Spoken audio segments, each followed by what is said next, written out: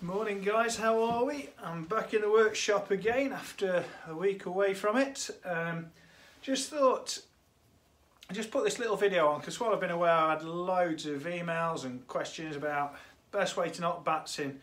It's coming to that time of year again.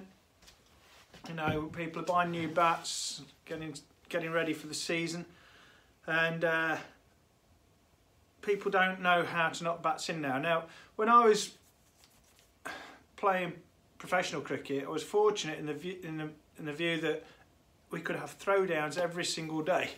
So we never used a mallet. We never used one of these. We just went and hit balls. And just through that experience, I always say to people that can be overused and overtrusted. Okay, so people talk about having six hours with a mallet and it's ridiculous. You can do too much knocking in, actually damage your bat in my opinion.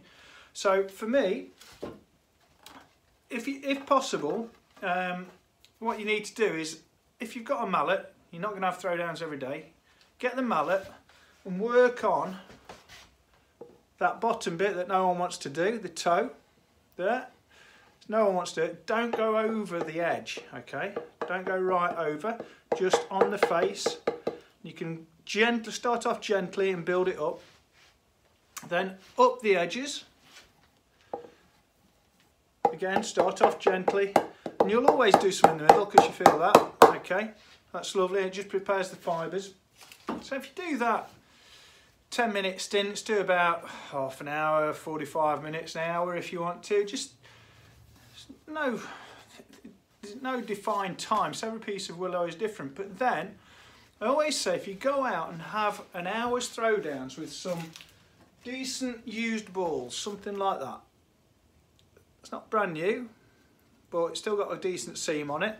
And you can stand, if you can have someone throwing balls and you can stand just literally dinking them back to start with, just almost pushing them back. Have a look at your bat if it's got deep seam marks in the willow, you know it wants a little bit more. If it's just shallow seam marks in the willow, that's not, not bad at all. And you can start, you start building your hitting up. And the bat will tell you because you look at your bat and you think, oh, that's all right, I can hit a bit firm, a bit firm, and build it up. And what that does, it starts to release the bindings on the handle and the uh, laminates in the handle as well. So you start to get that all-round performance. Because the handles start off stiffer and then they release. But it also helps knock the bat in properly okay? The mallet will never replicate that. So what people tend to do is they get giddy they've had someone or they've used a mallet and they've whacked it probably seven bells out of the blade for about three hours, thinking that's done the job. It hasn't. You can't replicate a cricket ball hitting the cricket bat with a mallet. So then they go out in a net and try and blaze it. Oh, this feels great, this feels great, and dink a bat. The worst thing you can do, even when you first go in a net, if you've had, you know, a good session with a mallet, stand and just be careful and just gradually build the bat up. Don't get giddy. You know, I know it's easy to get carried away, but don't. The best thing you can do is just build it up. And the bat will tell you when it's ready. You can feel it, you can tell you grow confident with it. You look at it, it tells you there's not big dints in it or cracks or it, you'll get the odd surface crack. That's a, that's a sign of a good piece of wood actually. It's the deep cracks that you don't want, but just build it up slowly. That's the best way to knock a bat in.